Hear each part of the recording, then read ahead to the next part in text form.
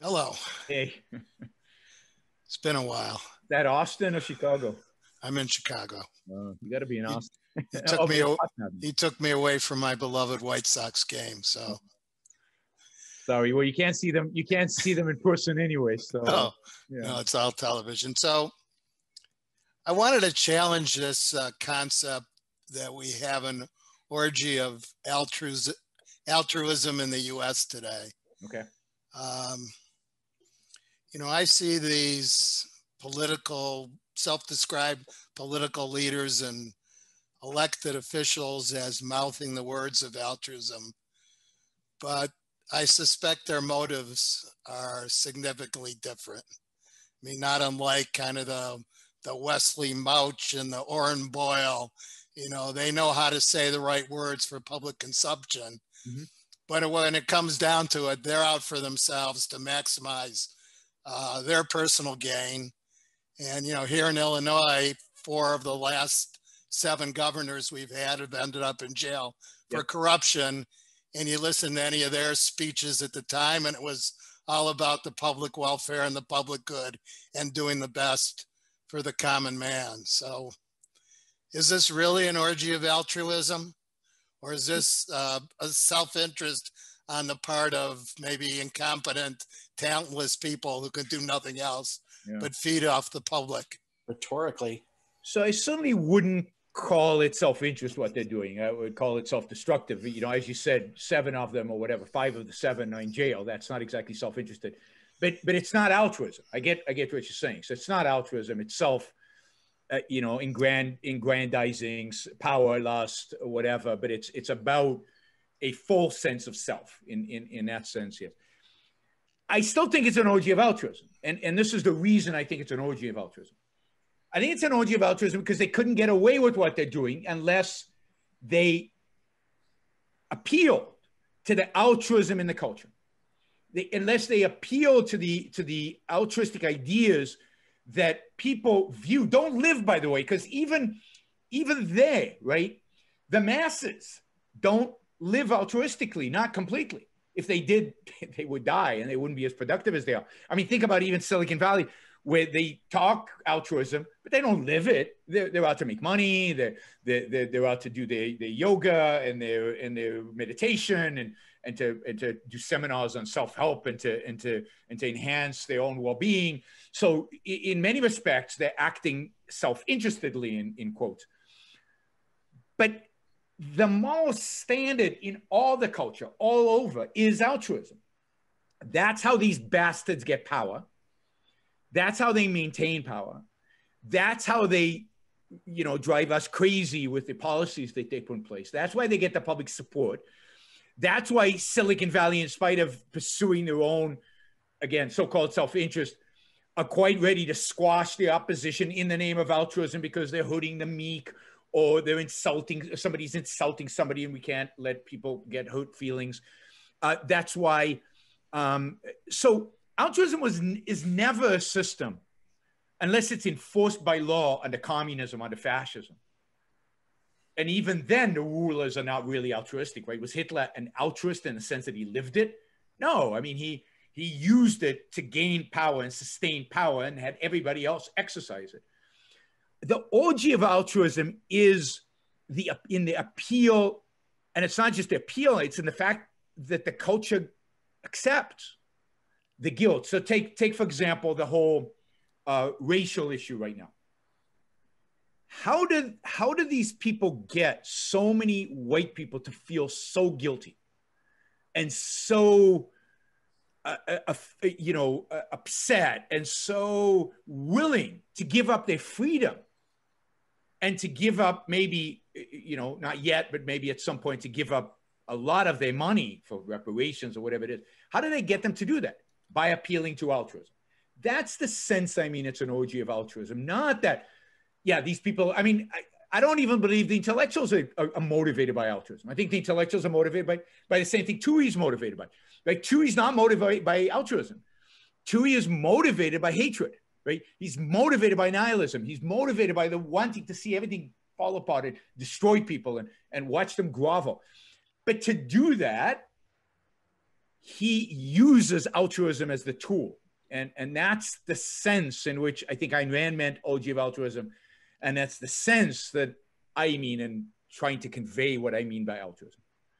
So, David, do you want to follow up, or does that make sense? Or so, some of the, the characters in an Atlas Shrugged, like a uh, Wesley Mouch or Orrin Boyle, yeah, are they altruists? No, they are. They are what I would call self-destructive. Um, so, so in my view, I, this is a problem that we don't have a good word for this, right? We don't have a good word for this yet. And I think our philosophers need to come up with a good word because I don't think Ayn Rand did. We've got altruist, we've got what we conceive of as self interest. And then we need a term to capture the power lusting. Ultimately, we need to capture, we need a word for Bernie Madoff, right? Because I think Bernie Madoff captures all of this, right? Power, uh, prestige, wealth. So we need a word for using others, you know, exploiting others for your sake right? And that's self interest. I don't want to use self interest for that. I have used instead of myself self destructive because I think that's essentially what it is. But that's not satisfying because I don't think people really get it. Right? They are uh, second handers of a sort, aren't they? By yes, by stealing again, altruism's uh, rhetoric. But you need a, a term that they're not self interested in a proper sense, and they're not altruistic. And parasites. What's that? Self-destructive doesn't capture the predatory aspect of it because I could be self-destructive in ways that were not predatory, predatory like the right. the governors of Illinois. So or, or, or, a drug addict. A drug addict is, yeah. is, is self-destructive and predatory, uh, and you'd still say he's not selfish, even though he thinks he's doing what's making him high, right? So you need, you need a term, and and I and I've talked to Onkar and Greg and encouraged them to come up with a term because we need it. We need a term that captures this and it it, it really inhibits our ability to communicate in my view mm-hmm. because because it it when i go and talk about self-interest properly understood and people say but look these politicians and these bernie madoff uh, and there's no one word there's no concept that i can capture with that and then that creates cognitive um, it, it, makes it difficult for the audience to separate the bernie madoff from the steve jobs or the or the john galt from the orrin boyle how do they separate the two? They both seem to be pursuing their self interest, but there's a fundamental difference between the two. They're predators, and and anyway, we need we need a concept. So, David, I I I agree that they're not altruists, but they're not. I don't agree that they're self interested, not in the way we understand it. And what we're missing is that third term to capture what it is they really are. I'd propose the term parasite uh, because it's uh, it's parasitism uh, directly on their economic victims, but also on intellectual victims, and they're using um, ideas, uh, other people's ideas, secondhandedly. Debbie's point, right? that captures the predatory side of it. It doesn't capture the self-destructive part of it. So it doesn't capture the drug drug the drug uh, user is not a parasite, but he's not an altruist, right? So, and then there are people who are parasites but don't have that predatory, I mean, in the same way, like welfare recipients or whatever. That's right. That's right. So we need, I mean, narcissists, uh, I mean, a lot of, there are a lot of words, none of them captures it exactly. And, and okay, so I, so that's where I would, I, I would take this. It's, it's anti-egoist, non-altruist. but, but we need, you need a concept for it. What we need today, what I call the new intellectual, would be any man or woman who is willing to think.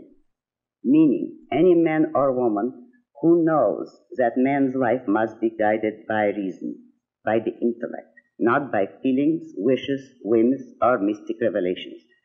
Any man or woman who values his life and who does not give, want to give in to today's cult of despair, cynicism, and impotence and does not intend to give up the world to the dark ages and to the rule of the collectivist brute.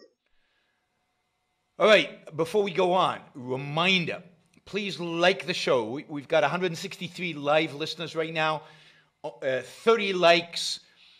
That should be at least 100. I figure at least 100 of you actually like the show. Maybe there are like 60 of the Matthews out there who hate it. But but at least the people who are liking it, you know, I want to see I want to see a thumbs up. There you go. Start liking it. I want to see that go to 100. All it takes is a click of a, a click of a, a, thing. Whether you're looking at this Uh, and, and you know, the likes matter. It, it's not an issue of my ego, it's an issue of the algorithm. The more you like something, the more the algorithm likes it. So, you know, and if you don't like the show, give it a thumbs down. Let's see your actual views being reflected in the likes. But uh, if you like it, don't just sit there, help get the show promoted. Of course, you should also share, and uh, you can support the show at yaronbrookshow.com slash support or on Patreon or Subscribestar or Locals uh, and uh, and show your support for all for, for, for the work for the value hopefully you're receiving from this. And uh, and of course don't forget if you're not a subscriber even if you even if you just come here to troll or even if you're here like Matthew to defend Marx uh, then uh, you should subscribe because that way you'll know when to show up you'll know what shows are on when they're on you'll get notified right so um, yes like share, subscribe, support. Like, share, subscribe, support. There you go. Easy. Do one or all of those, please.